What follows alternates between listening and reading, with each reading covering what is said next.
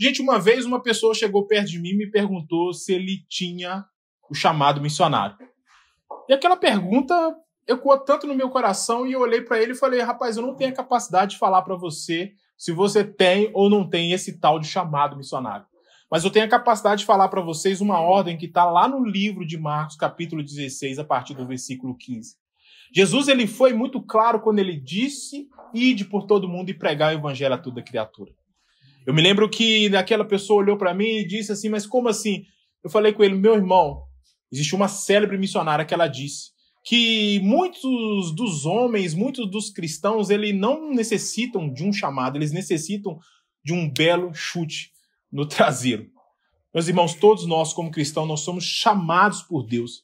E o chamado ele é agudo e precisa ser agudo nos nossos corações. Olha só, quando Deus chamou Josué, ele disse para Josué: Josué, eu estou te chamando. Moisés morreu, mas eu estou te chamando agora para você fazer agora aquilo que eu tenho para você.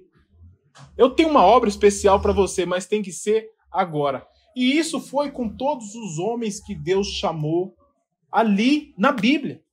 E isso continua sendo na nossa vida até hoje. O chamado missionário ele não existe, porque foi uma ordenança de Jesus. Jesus ele não perguntou se a gente queria ou se a gente não queria seguir o propósito ao qual ele nos deu, que é ir por todo mundo e pregar o evangelho a toda criatura. Se você não estiver caminhando em direção ao seu chamado, você precisa estar se movimentando a entender o seu chamado. Porque o chamado missionário você não recebe, você entende. Gente, olha, Jonas, certa vez Deus olhou para ele e falou assim: Jonas era ali, vivia, e a Bíblia nos diz que ele era filho de Amitai, e Deus chamou Jonas então para ir para Nínive e disse com Jonas: Jonas, é agora. E você vai ver que naquele momento ali que Deus chamou Jonas, a palavra nos diz que Jonas então ele tentou fugir de Deus. E quando ele tentou fugir de Deus, a Bíblia nos diz que ele desceu então para Tarsis. E quando ele desceu para Tarsis, ele estava indo completamente diferente daquilo que Deus havia determinado para ele. Ele tentou pegar um caminho totalmente oposto daquele caminho ao qual Deus tinha para ele naquele dia, naquele momento. E a Bíblia é muito clara nos dizer que, de repente, aqueles homens que estavam naquele navio em direção a Tarsis, eles estavam em alto mar e, de repente, veio uma tempestade que eles mesmos discerniram que aquela tempestade era algo espiritual. A Bíblia nos fala que aqueles marinheiros não conheciam a Deus, mas eles sabiam que aquilo que estava acontecendo com eles não era algo da, do nível natural, era algo espiritual, era algo que vem realmente de Deus. E a Bíblia nos diz que aqueles marinheiros, então, em alto mar, eles começaram a sofrer tanto, começaram a temer contra suas próprias vidas, começaram a jogar as mercadorias na água. Olha para você ver, gente, quando a pessoa foge do chamado, quando a pessoa vai em uma direção completamente oposta do chamado, essa pessoa começa então a levar prejuízo para terceiros, pessoas que não têm nada a ver com isso. Pessoas que não têm nada a ver com a falta da responsabilidade da pessoa em seguir o propósito. Meus irmãos e minhas irmãs, todas as vezes que nós estamos em direção oposta daquilo que Deus nos chamou, é nítido. Nós levamos prejuízo para outras pessoas.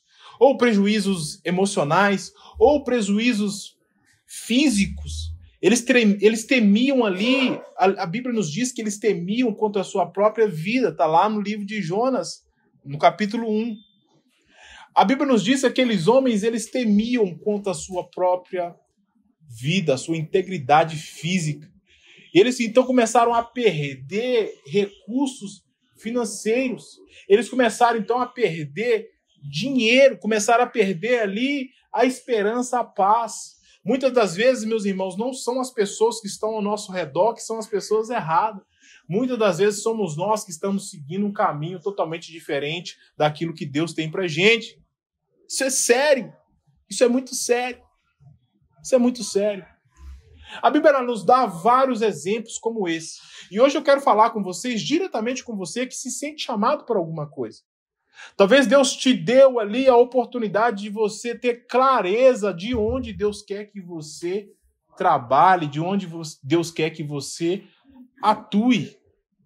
Talvez o, seu, o, o, o talvez a, a, habilidade que Deus deu para você é trabalhar com crianças. Talvez a habilidade que Deus deu para você é trabalhar com adultos. Talvez a habilidade que Deus deu para você é para trabalhar com jovens adultos, terceira idade.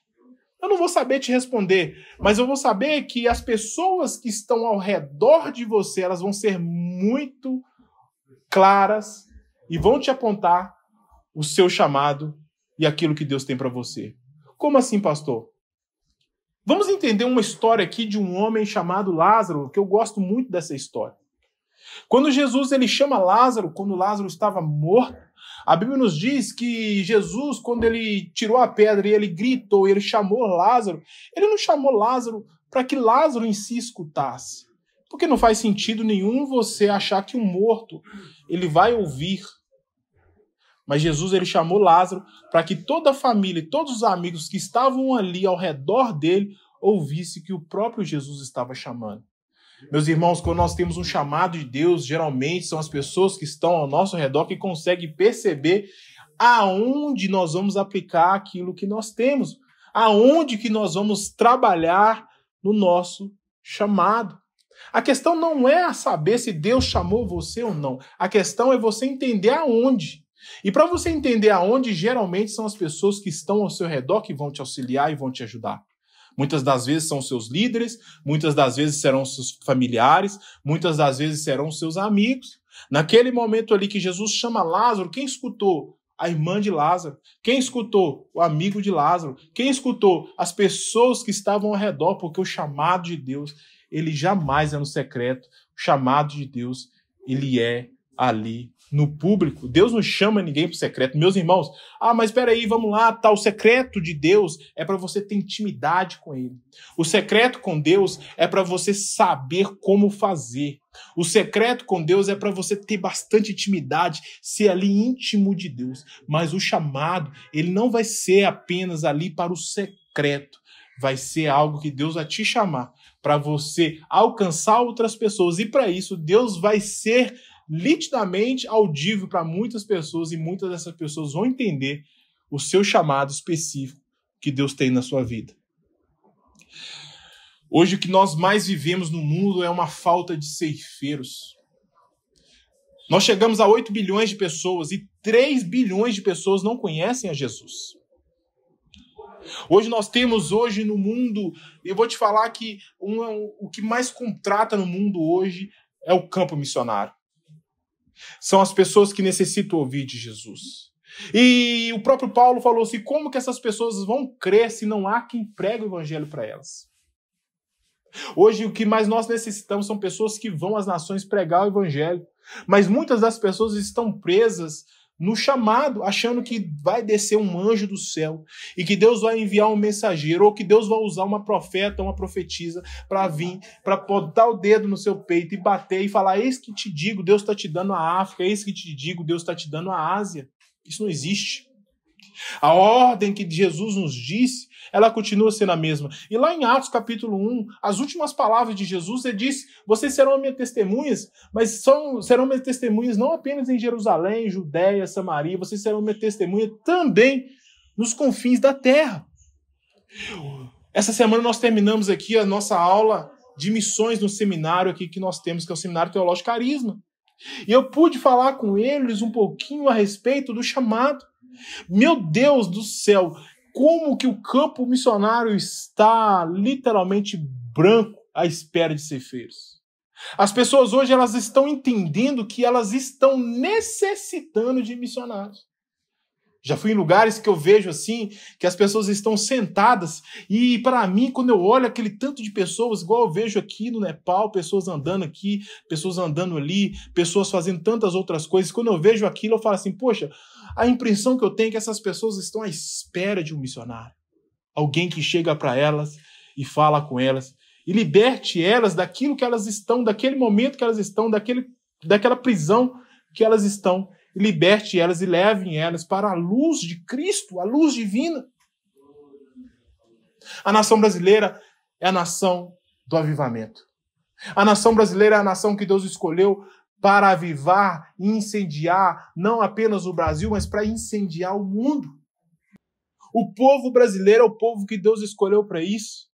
Deus nos deu uma identidade missionária tão profunda, meus irmãos e minhas irmãs, que somente você saindo do Brasil e indo para outras nações e anunciando o evangelho, você vai entender o que eu estou falando com vocês.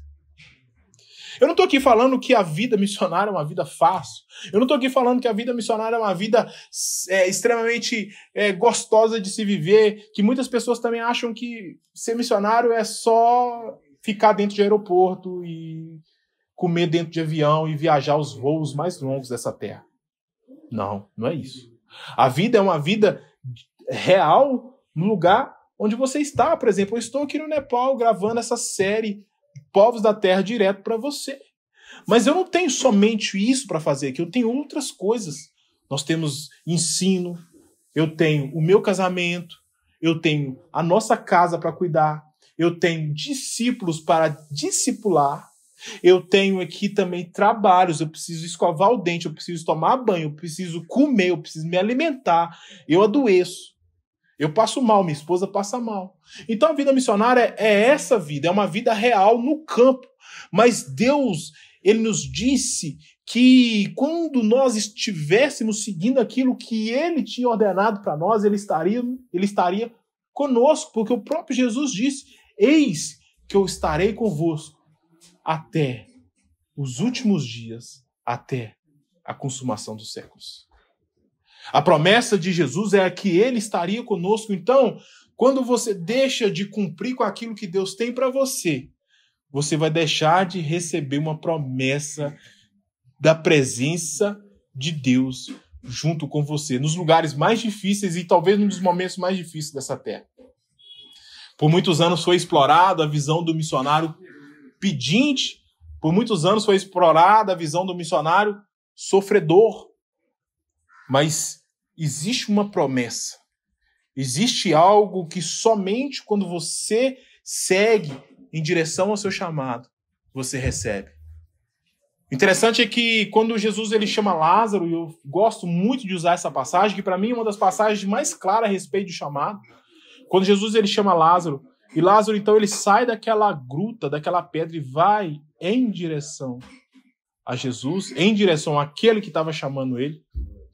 Jesus então fala algo muito importante ali, que talvez é uma das coisas mais fortes para nós que somos chamados de Deus, seguimos em direção àquele que nos chamou. Ele diz para as pessoas que estão lá: vai lá e ajuda o Lázaro. Vai lá ajudar ele, ele saiu, ele está vindo em minha direção.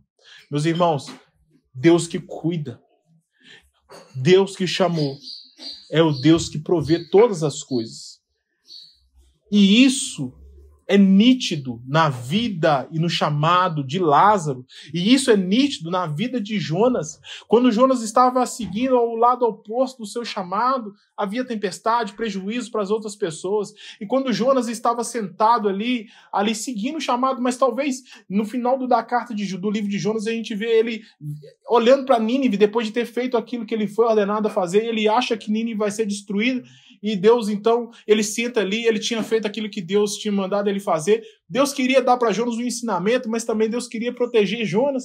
Deus faz crescer uma árvore, uma pequena planta, só para tampar o sol na cabeça dele. Em direção ao seu propósito, ao seu chamado, a provisão de, vi de vida, a provisão de Deus, a provisão divina sobre a sua cabeça. Mas quando você vai contra o seu chamado, há dificuldade, à tempestade. É ilógico, nós, como seres humanos que nós somos, filhos de Deus, do tamanho da revelação que nós temos, é ilógico nós não irmos em direção daquele que nos chamou.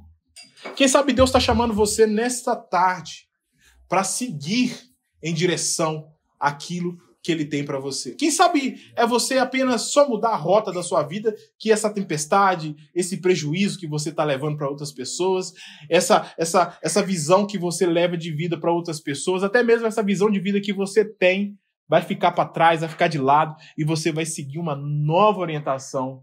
Você vai seguir aquilo que ele te chamou, o propósito que ele tem para sua vida. Quem sabe não é isso que está acontecendo? Quem sabe não é isso que, tá, que você está necessitando? Pensa sobre isso. Pensa sobre isso. Tenho certeza que Deus tem um propósito muito maior na sua vida do que levar sofrimento, tristeza, dor para outras pessoas. Aquelas outras pessoas estão sofrendo muitas vezes porque você está desobedecendo a Deus. E o chamado, tá, tem momentos difíceis? Tem. Tem momentos de tristeza? Tem, que nós somos seres humanos. Mas o chamado, ele é leve, porque o próprio Jesus disse: olha só, meu fardo é leve, meu jugo é suave. A minha vontade ela é boa, ela é perfeita e é agradável.